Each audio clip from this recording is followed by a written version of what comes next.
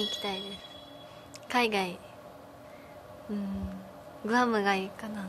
お買い物して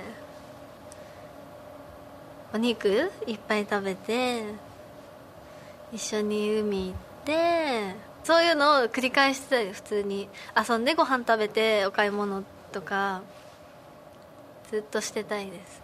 白いミニスカートのワンピースにちょっと高めのサンダル履いて髪の毛をお団子とかにしてあげてお祭りの時にあの男の人が着る何でしたっけジンベエみたいなああいうのはなんかお祭りの時しか見れないから着てほしいです。私も浴衣着たいし、うん、若いしせっかく夏だしやっぱビキニの方がいいのかな？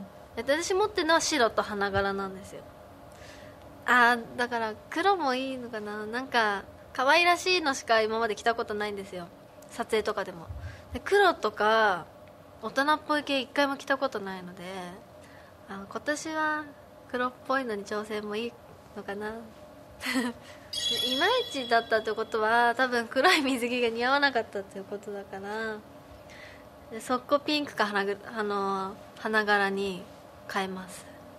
できれば終われる方がいいで